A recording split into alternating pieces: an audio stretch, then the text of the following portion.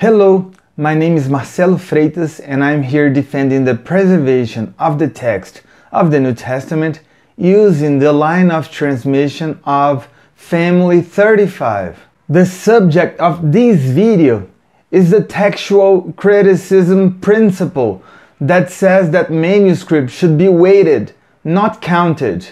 But first, we need to clarify that if we talk about who was the best president, the most important soccer player, or the dog with the best pedigree, there will be many disagreements. These are subjective questions. It depends on our preferences. And there are several candidates who are very well qualified.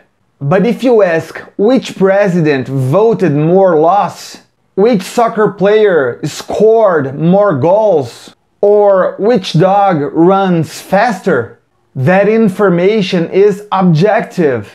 Thus, we need to differentiate between subjective and objective criteria. When someone say that a manuscript is the best, the most important, or have the best pedigree, we need to know what the criteria were, including the presuppositions. If you have already studied textual criticism, you have probably heard the phrase one of the principles of textual criticism is manuscripts should be weighted rather than counted. But is this principle true? No, these are not our presuppositions. So, how then does this principle become popular? Further, could it be used to keep people from coming to know the precise wording of the original text to understand what happened? We need to recognize that this principle is based on two presuppositions. The first argument, the original wording was lost in the first century.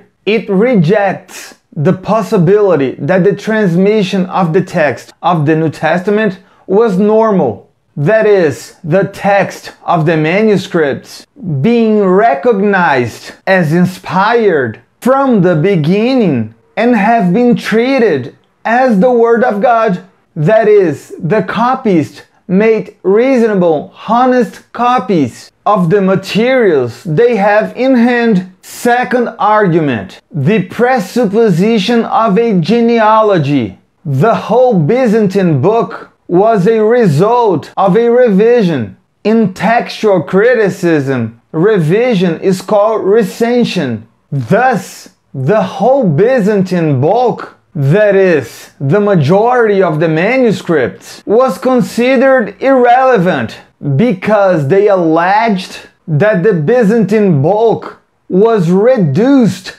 into a single source and imposing power a review of a ecclesiastical authority. It is probably that the popularization of this principle, weighing, not counting, is based upon the presuppositions underlying the work of Hort. We should remember that the criteria for weighing manuscripts came from Hort, but they are false. The truth is that the text was never lost, there was no revision or recension, nor is there any historical record of imposition of ecclesiastical authority. It is all speculation without any evidence. What are the consequences of that principle? Before weighing or counting, there is an analogy that comes into play. It is the analogy of a river close to the source. The closer to the source the water, the cleaner is the water. The New Testament text was a river that went on its way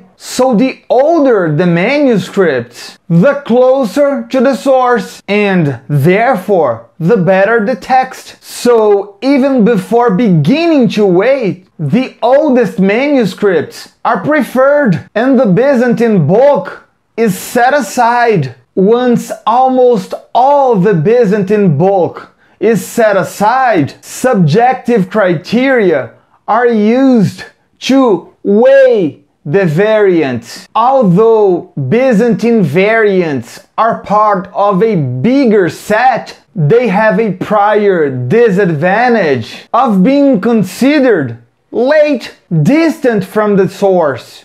After 90 to 95% of the manuscripts have been declared to be irrelevant, then the critics proceed to weigh the variant. In practice, most attention is given to the Alexandrian manuscripts, which are generally the oldest since they were buried in the sands of the deserts of Egypt, which correspond to 1 or 2% of the Greek known manuscripts. We should also clarify that the method used for weighing came from the Alexandrian school of textual criticism that was applied to the classical writings of Homer and Plato secular manuscripts. In other words, they treated the New Testament manuscripts as being secular literature. They think